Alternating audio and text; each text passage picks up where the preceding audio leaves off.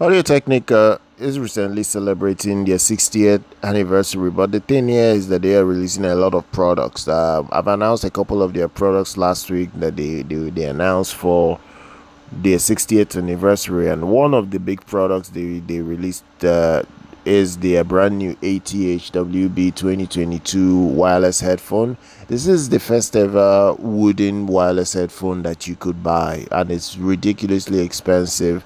Uh, you're looking at $2,700 for this. Uh, this thing is one of those flagship headphones that once you do pay your money, you pro- you'll probably plan to use it for a decade or more.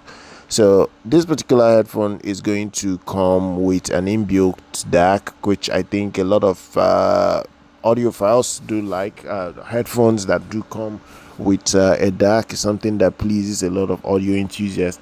Another thing again is the is the brand that is making it. It is uh, from Sabre. It, it, it's the ESS uh, 90 38 Q2M chip that is inside two of it. You will have two of it uh, so it's definitely going to have um, a lot to offer for your music decoding.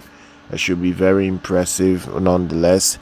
Now, the only downside that I have to this announcement, or something that uh, really did not impress me, is the battery life of this uh, of this headphone. On a single charge, you're gonna get nine hours only, um, and and I don't think people are very much uh, gonna be content with just having nine hours uh, on a headphone, uh, regardless of how good the headphone is. So I'm a bit surprised that they didn't go more than nine hours. So it's just only nine hours, and but you just have to, you just have to to to to keep recharging it. And if you run out of uh, power, you can uh, you can use the included uh, USB cable to to to to use the headphone in a wired form if you want to do so. It's coming with the latest Bluetooth standard.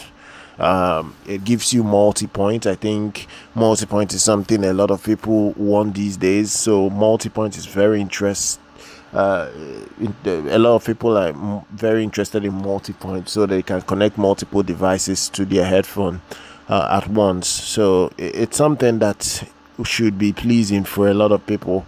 So I'm gonna drop all the details for the brand new ATH um, headphone, the brand new ATH um, 2022.